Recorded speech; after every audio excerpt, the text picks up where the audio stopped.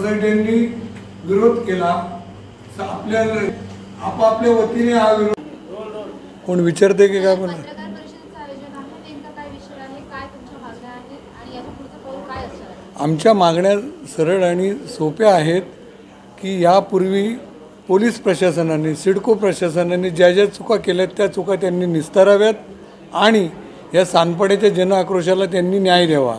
या माध्यमामध्ये न्यायव्यवस्था येते.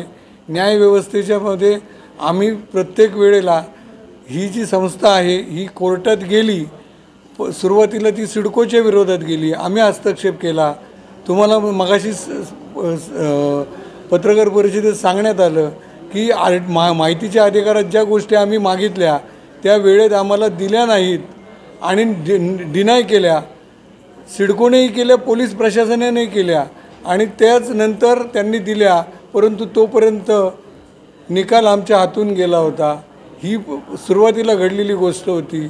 आज आजही जेव्हा ही संस्था महापालिकेच्या विरोधात सी सी संदर्भात कोर्टात गेली होती कोर्टात गेल्यानंतर तिथेही आम्ही हस्तक्षेप केला. परंतु ज्या दिवशी आमचा हस्तक्षेप होतो आहे त्या दिवशीच त्यांनी निकाल दिला आहे आणि आम्हाला आमची बाजू मांडण्यासाठी जागा ठेवली आहे परंतु निकाल दिलेलाच होता.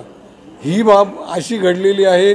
एका ठिकाणी संविधान आहे एका ठिकाणी न्यायव्यवस्थेची बूज राखण्यासाठी तुमचे आमचे सर्वांचे चाललेले प्रयत्न आहेत आणि या माध्यमातून ज्या या जनतेच्या लढ्याला यश मिळणं आणि त्यासाठी शेवटपर्यंत लढणं हेच अखिल सानपाडा रहिवासी महासंघ आणि सांस्कृतिक प्रतिष्ठानच्या माध्यमातून आमचं काम दिसतं आहे आता.